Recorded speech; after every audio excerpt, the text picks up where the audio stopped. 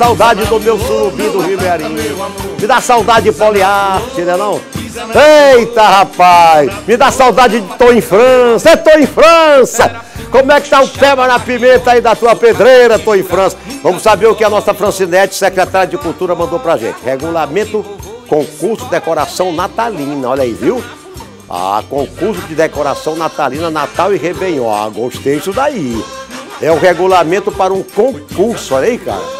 Rapaz, pela primeira vez eu tô vendo a prefeitura fazer isso aí, viu? Parabéns, doutor em França, doutor em França. Continuemos dançando, vamos lá. Vai. Satisfeita dizendo meu amor, ai como é gostoso, pisa na flor. João do Vale, o poeta do povo. Olha aí, ó, olha, olha o gerente da Ebs Pneu de Santa Inês, mandou uma foto agora. Islânio.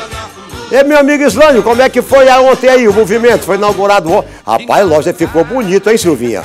E Marcos, a loja ficou linda. A loja da Ebs Pneu, olha aí, ó.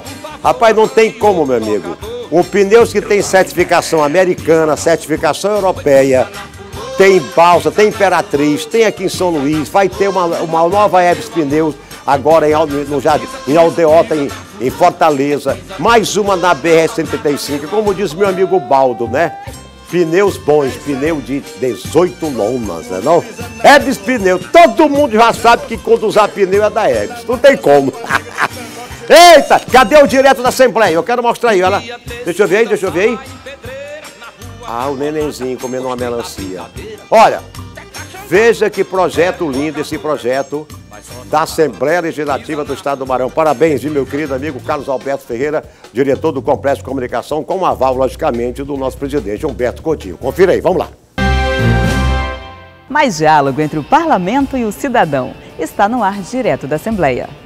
Um dia para ficar na história e na memória de 22 estudantes maranhenses que vivenciaram a experiência do parlamento, sendo nossos representantes na Assembleia Legislativa e serão deputados estudantes durante um ano.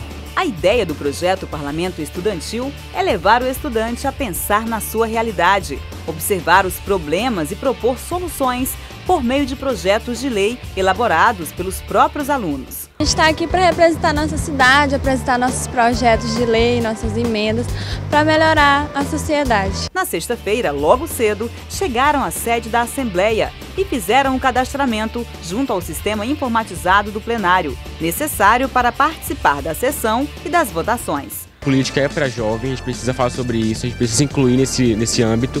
E o que pode esperar é muito, muito trabalho, a gente vai trabalhar muito para conseguir pôr os projetos em prática. Depois do cadastramento, hora de visitar toda a estrutura da Lema, conheceram o complexo de comunicação e o trabalho dos profissionais que divulgam as ações do parlamento.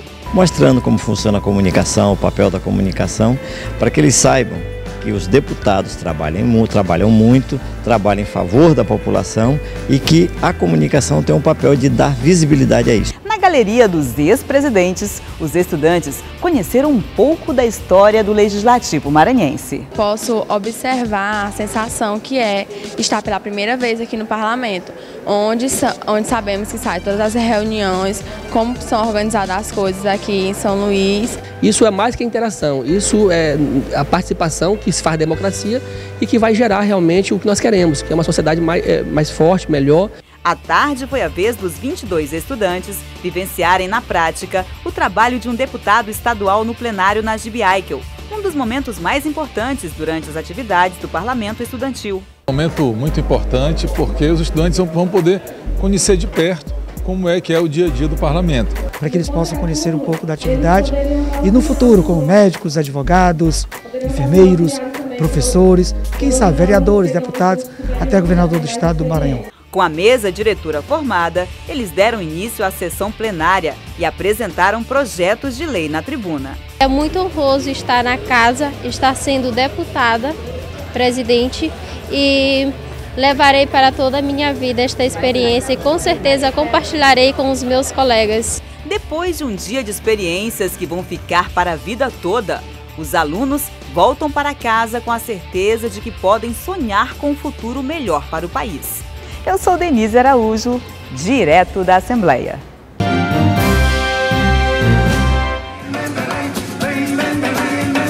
Epa, coisa boa, menino! Vamos dançar! Bamboleia, vai! Olha, eu quero mostrar nossa malharia Vitória. Olha, pra você dançar do jeito que eu tô dançando, você tem que a malharia Vitória fazer a sua camisa, fazer o seu abadá para o seu bloco aí do interior do estado. Aqui na capital, é Malharia Vitória no pé que mão da minha amiga empresária Fátima Parga. 3236-2130. Olha a central de atendimento. Pense numa empresa que faz o cronograma de entrega e entrega na hora. Não tem aborrecimento.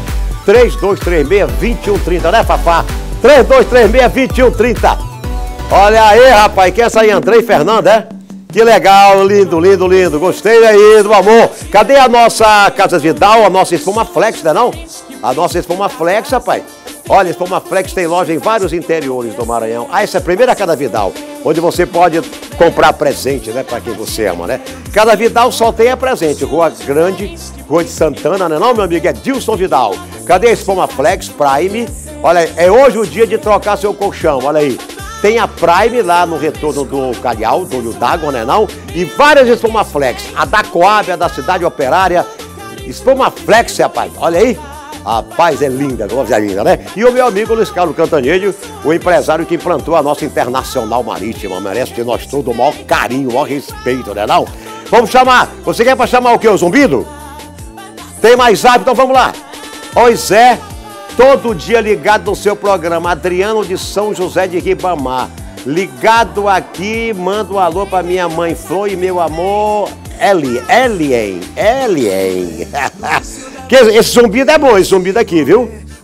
Olha aí, quer, você quer colocar um zumbido no ar? Vem de lá, Chicão, logo no ar. No ar, zumbido. Oferecimento, Óticas Diniz, pra ver você feliz. A audiência discute lei que obriga vigilância 24 horas nas agências bancárias do Maranhão. Ah, meu amigo, parece que antes tarde do que nunca. Você não pode tirar uma grana 7, 8 horas da noite num caixa eletrônico que fica com medo, não é não?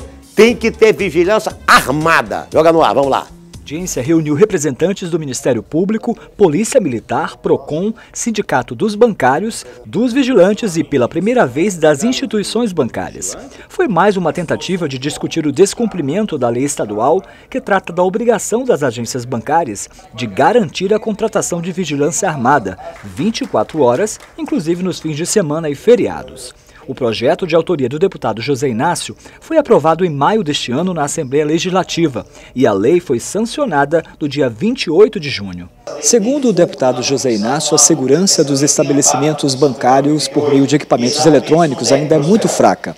Daí a necessidade de se estabelecer uma política de segurança interna mais eficiente. José Inácio voltou a ressaltar a importância da lei e o caráter preventivo da proposta. A lei ela é, surgiu a partir de um diálogo com o Sindicato dos Vigilantes, que percebendo essa fragilidade no que diz respeito à, segurança nos estabelecimentos bancários, é, sugeriu que fizéssemos a proposição da lei.